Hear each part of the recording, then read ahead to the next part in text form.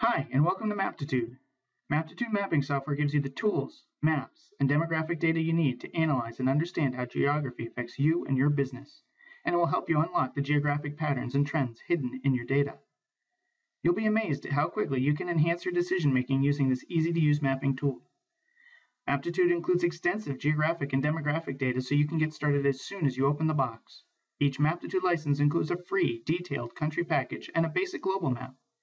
Each country package includes a street layer with address and travel time information, administrative and political boundaries, comprehensive name landmarks that range from public facilities to commercial buildings, including shops, restaurants, and retail stores, and, where available, postal data, building footprints, and detailed demographics are also provided.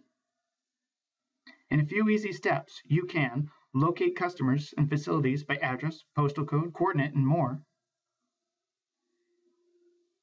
color code postal areas with your data, build rings around your location and estimate the population and other demographics within those rings,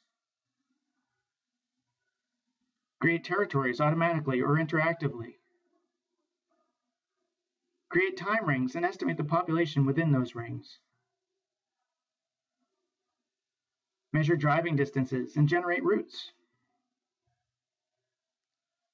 The Maptitude Create a Map wizard simplifies the task of adding your data to a map. It gives you start to finish assistance for locating, mapping, and analyzing your data. For example, suppose you have a spreadsheet of customer data. It likely contains address and sales data that you can use in several ways. Let's take a look at how Create a Map wizard can use this data in a map. In Maptitude, choose File, New, or click the New File button, choose Map, and that will launch the Create a Map wizard. There are two options, create a general purpose map or a map of your own data. For our purpose, we'll want to map the data stored in our spreadsheet.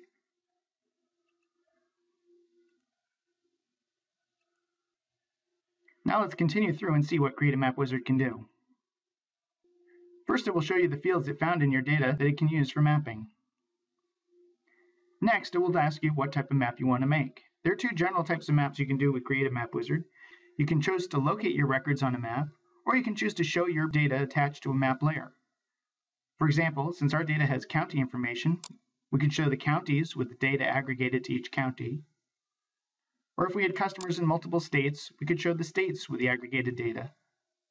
We're going to take a look at zip codes. Next, Create a Map Wizard will ask you how to show your data on the map. One option would be to create a 3D prism map theme. For example, we could look at the total sales in each zip code in a prism map, such as this. Or we could create a scaled symbol theme showing the total sales in each zip code. We could create a chart theme and show something like first and second quarter sales. You can create a dot density theme. But for our purposes, let's create a color theme showing the total sales in each zip code.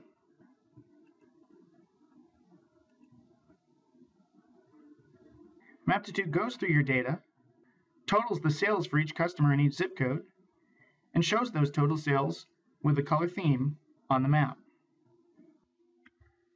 All of the fields that Maptitude calculated are still available to me. For example, we could change this color theme now. Notice that we have the number of customers in each zip code. We have the sales and the average sales for the quarters and totals. So let's change this map to average total sales by zip code.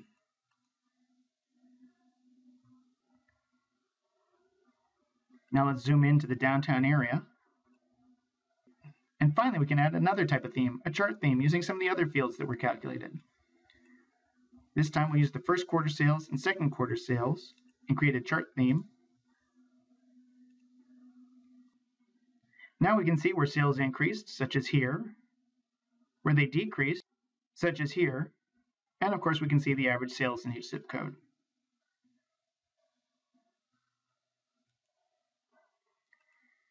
Now let's use Create a Map Wizard to locate our data on a map.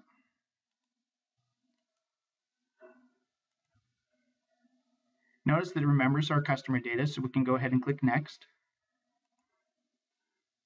Again, since our data had county information, we could locate the records by county. As you can see, this doesn't give us the greatest precision. We could also use the city and state information. Or we could have them located spread out through each zip code.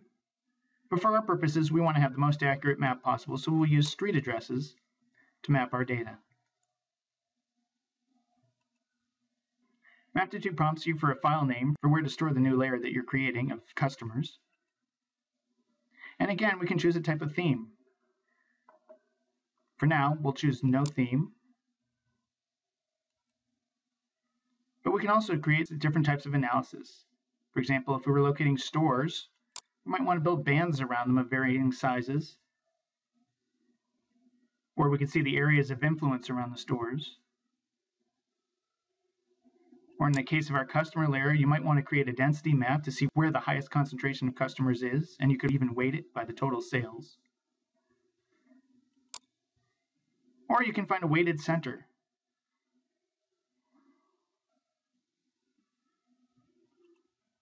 Again, I'm prompted for file names to save the weighted center information.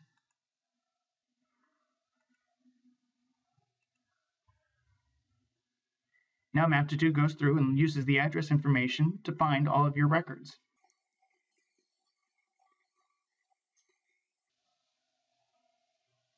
It reports how many records were found and opens a map with your data attached to it. Since some of the records were not found, we can use one of the less precise locating methods to locate the remainders.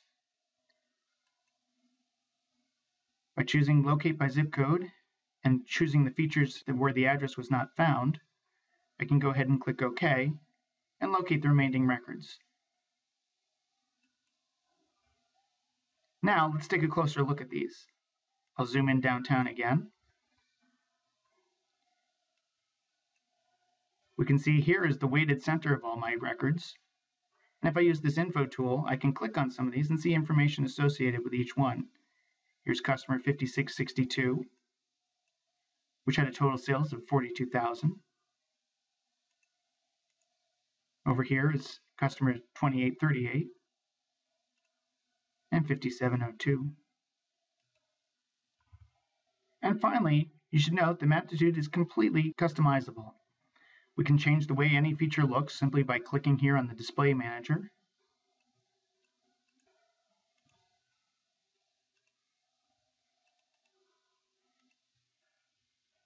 and the style is applied. And I can display my map at any scale using the zoom in and zoom out tools.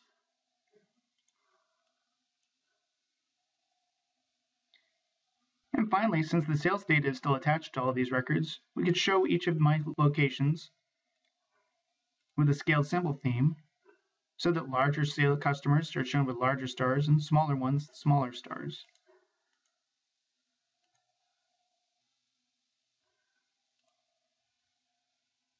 Now that you've seen a bit about how Maptitude works, I suggest you visit the Caliper website, www.caliper.com, where you can learn more about Maptitude. And you can also take a look at some other video tutorials and see some of the other cool functions that you can do with Maptitude.